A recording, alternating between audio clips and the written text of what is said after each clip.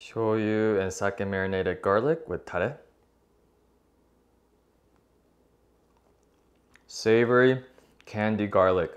Hey Yaki Gang, Yakitori Guy here. Welcome back to another rapid Yaki lesson where I try to quickly show you guys a really good item to go along with your yakitori in a video that's five minutes or less. And today I wanted to make a skewer using these garlic that I've been marinating in soy sauce and sake for over a week. All right, so I have here, this is peeled garlic that's been marinated in one part soy sauce, one part sake for one week. You can really smell it, this potent garlic but the sake soy sauce kind of making it milder. Let's go ahead and scoop these out using this strainer spoon that I normally use for my quail eggs and tare. Be sure to look at that video.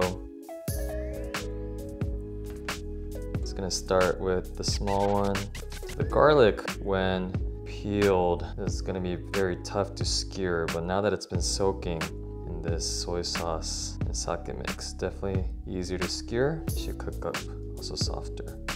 I'm gonna make sure to leave a little bit of gap in between so the heat can cook through all the sides.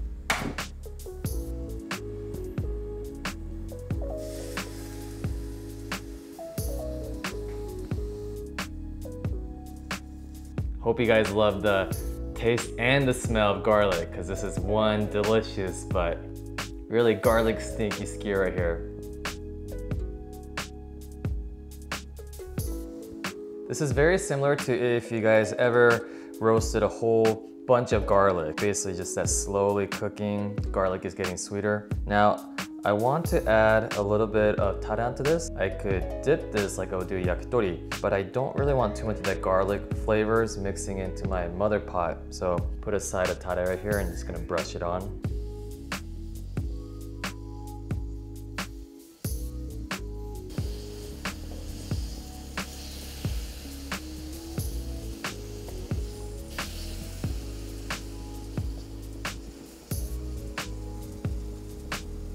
All right, ready to go.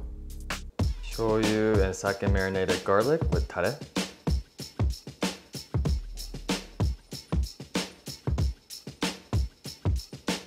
Savory candy garlic.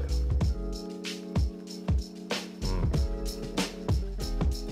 All right, that's it for today's rapid yaki lesson on the marinated garlic. Hope you guys enjoyed it. Thanks for watching. See you guys in the next video. Bye guys.